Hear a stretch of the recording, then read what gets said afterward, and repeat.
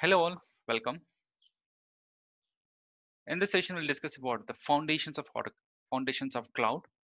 Let's get into outline. We'll try to understand what is cloud computing, cloud offerings, cloud deployment models, as well as what are the products which Oracle is providing in the cloud area and different set of cloud players in the market. Cloud computing is nothing but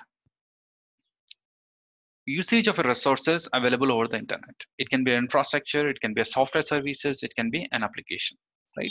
So cloud computing a theory was there in the in the in the IT trends from past 15 years, but now you're you're seeing the real cloud products in the market, and customers are betting heavily, and the providers are betting heavily on the cloud usages and you know even customers are choosing oracle uh, choosing different set of cloud services based on their requirement. As most of the services are getting digitized usage of services is becoming necessary these days for every customer. So understanding cloud computing is nothing but usage of particular services over the internet okay? And the services can be an application it can be a platform it can be infrastructure and it, it can be used across different set of products. It can be desktop. Using desktop, you can access a particular tool. Using laptop, you can access it. Access it. You can using phones or tablets. You can use the services which are provided which are provided by the cloud providers. Coming to the major important features of cloud is cloud deployment model. I mean to say like uh, what the, what do you mean by deployment and what are the different set of models we have? So this is predominantly important for the infrastructure one. So if you want to use a particular infrastructure, right? So the infrastructure can be at the client location or the provider location. That's a major understanding. This is a major difference I can say. Now let us say you want to use a particular cloud infrastructure and you want to make sure that it is used only by you, then it becomes a private, right? Let us say you are leasing to you you just you want to have a lease of, of a particular hardware service with a provider for a particular duration. And you want to make sure that that particular hardware machine should not be used by any other customer then it becomes a private and the hardware can be at your location or it can be service provider location. That's the difference between on premise or off premises coming to the community cloud nothing but a set of group of organizations nothing but let us say assume that you're a you are a research uh, you want to work on a particular research and make sure that this particular services this particular server should be accessible by only the community of only uh, that particular group then it becomes a community cloud. It's more or less private cloud but the difference is in the community cloud there will be a number of a number of a number of members in that particular community. That's the only difference. Other one is public cloud. So public cloud is nothing but an hardware machine the resources are shared by a different set of consumers or customers i mean to say. It's not about the data. Data obviously will not be shared with anyone but the hardware resources of a particular machine will be shared with a different set of customer customers. And public cloud generally used for researchers and as well as when when there is no sensitive data usage in that.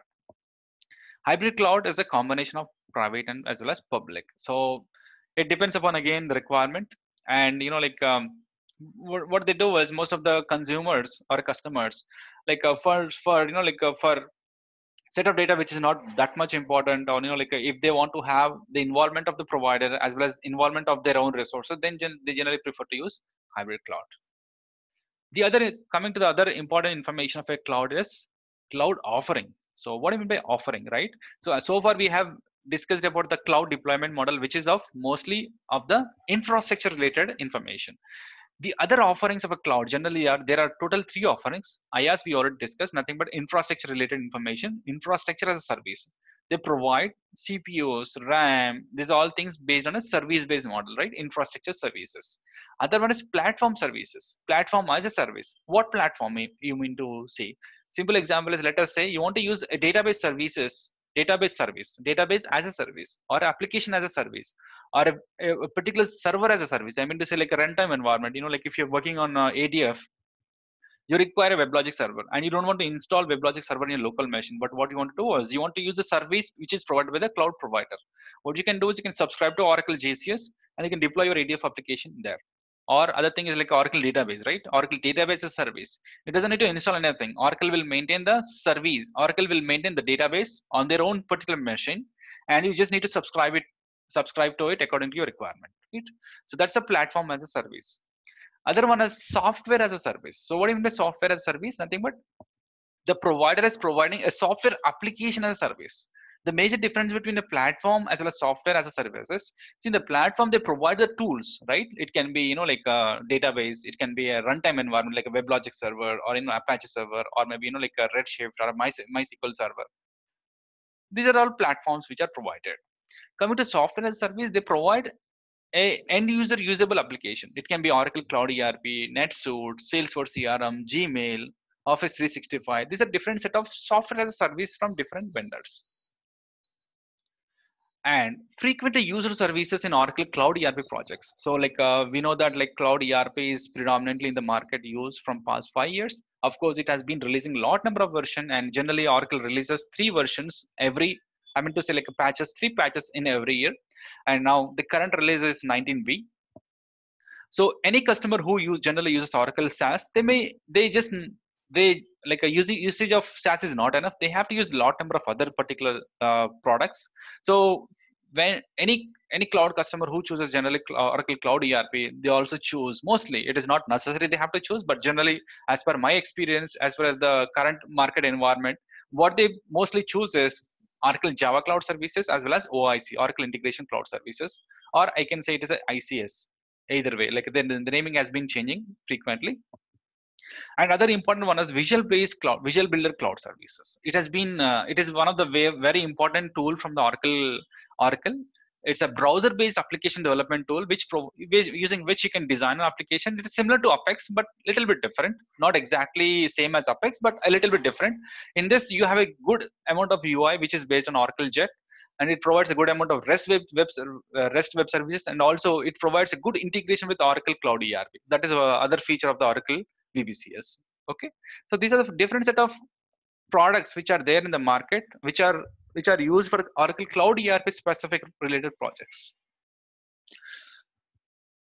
And if you want to find out what are the list of SaaS products which are available in the from the Oracle, what you can do is you can navigate to cloud.oracle.com website and you can just click on application SaaS and you can see that there are three important things which are from Oracle on the SaaS area. One is ERP products, EPM products, as well as CX products, cloud experience or customer experience, sorry, customer experience products. Of course, the IoT also is part of this particular SaaS product.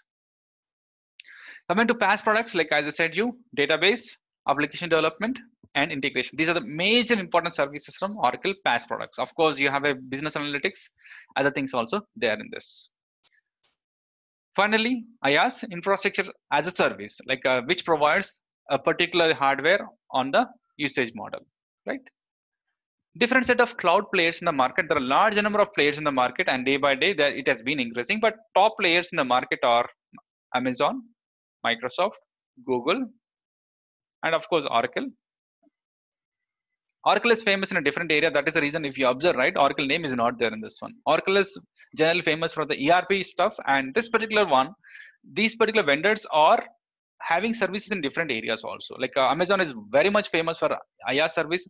Microsoft azure is very much famous for their erp like uh, enterprise application not just erp enterprise application like uh, office 365 BizTalk there are a lot number of like email right? There are different set of uh, products from Microsoft. Similarly, Google Cloud, they don't have like enterprise application, but their uh, mean to say they don't have ERP application, but their services are very very much different. Like uh, Gmail, Google Docs, and there are like a different set of runtime environments which Google Cloud provides okay these are the different set of cloud players in the market and coming to the SaaS players and which are specifically ERP. So when you say SaaS, it doesn't mean ERP always, okay? Because software as a service can be any application. It can be an ERP application or it can be just a simple application like Office 365 or Gmail also, right? So from Oracle, or specifically from Oracle, the SaaS products from Oracle ERP is Oracle Fusion ERP, nothing but cloud, we call it as Oracle Fusion Cloud other one is Oracle NetSuite. These are the two ERP products from Oracle which are in the cloud. And different from different set of vendors like a Salesforce CRM is one of the number one world number one CRM. And Workday HRMS it is famous for HRMS, right? And SAP it is famous for you know like a manufacturing one, right? SuccessFactors for HRMS, Kronos for you know like a GL stuff. So each there are a lot number of vendors are there in the market, and you know like I just listed only few. Okay, and navigate to cloud.oracle.com and just find out what are the products which Oracle is providing in the cloud area. Okay, this high level SAM, high level information of the cloud computing model. Thanks.